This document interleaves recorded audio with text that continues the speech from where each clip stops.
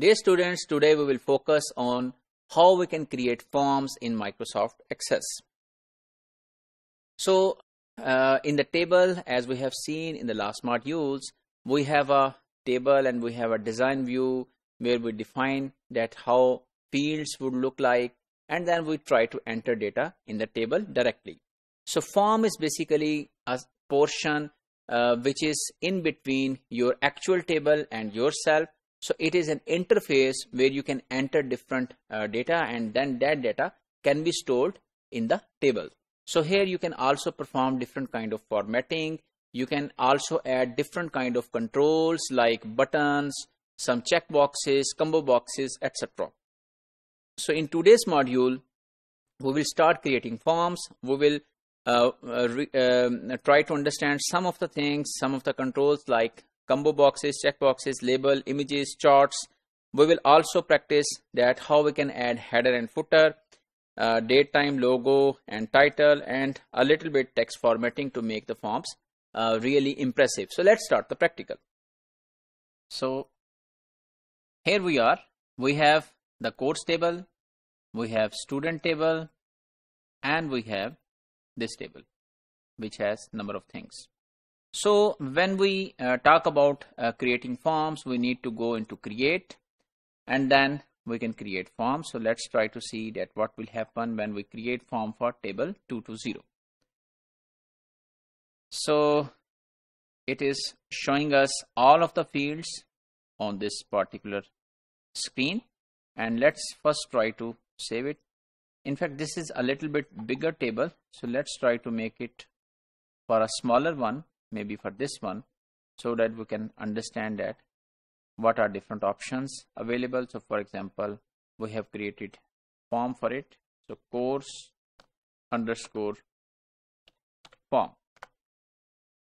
So there is a new tab forms and here we have course form. Again right click on it and go to the design view. So in this design view, we have all of the information in detail over here and then we have form footer and header. And then as soon as we create uh, the form, there is another option known as design that has appeared. And in this design, we have number of controls. So for example, we can add different type of controls in this form. So let's try to make some space over here for example go to the control and then for example you can add a button over here okay.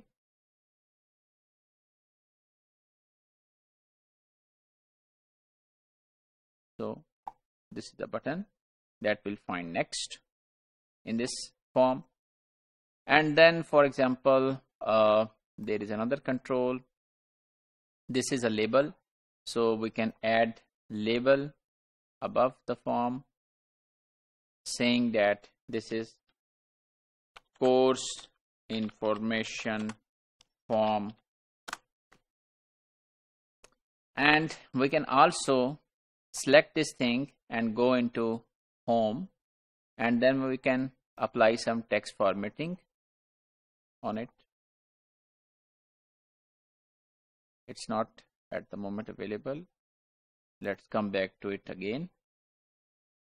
Over here for example we can perform different type of formatting right? So whatever being entered in this should be like this and so on. And now this is also available. So for example I say okay this should be this one. 20 no it's a little bit bigger.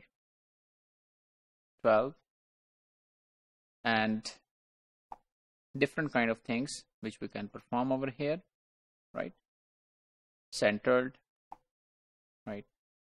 And we can also uh, use other controls like uh, we can use list box some navigation control some combo box. So for example if I add a combo box over here like this and I say okay this is edit from here.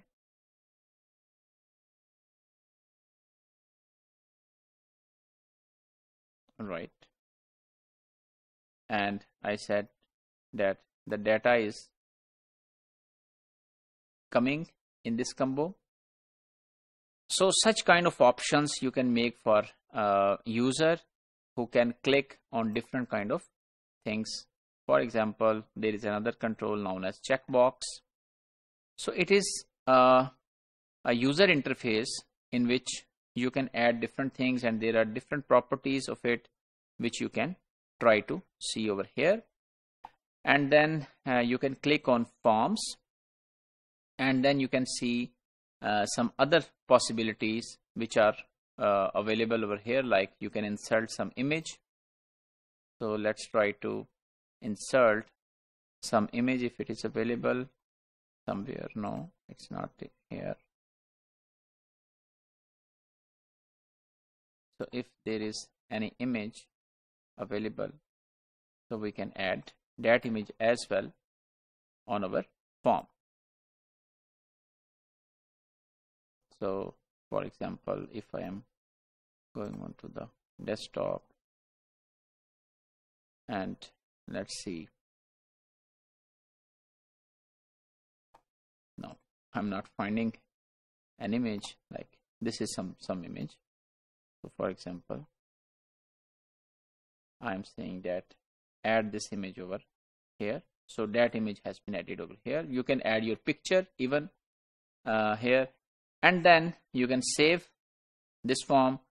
And whenever you click on it so now you can see that different things are shown over here and then you can process this like this using this control as well. So this is a button. Uh, we haven't added any functionality on this button but we have made available some of the things like this combo box was bounded with course IDs and we can also add a new record over here. So for example when we click on it so now it is asking course ID so for example I'm saying 105 and like I'm saying it's uh, programming. And the uh, number of credit hours are 3 and as soon as I click on it so it should be saved. So now if I go into the course table it's not still saved over there. So first of all I need to click on it. So it's not uh, in this table yet. Although we have added 105 so these are different options which are available on this form using these options we can uh, really make an interesting forms available for our users on which they can work and they can uh, really see that how the things are happening on the forms right? And we are saving the forms. And then we can again go into the design mode right? Then we can go again to the right? So this is the possibility which we have discussed. Then these are the tables. And this is the form which we have created. And this form is really giving us uh, an attractive uh, interface on which we can really work uh, to uh, save time for our user that he can enter values in user friendly environment uh, in the tables and then we can also add different codes uh, in these buttons as well using JavaScript or different languages. So which at the moment we will not be covering in this course. So we were just interested to make the forms. So dear students let's conclude uh, this module. We have created a form and that form has number of options images. We can also add the charts uh, combo boxes and uh, we can also add header information and footer information uh, logo and we can also perform different kind of text formatting as well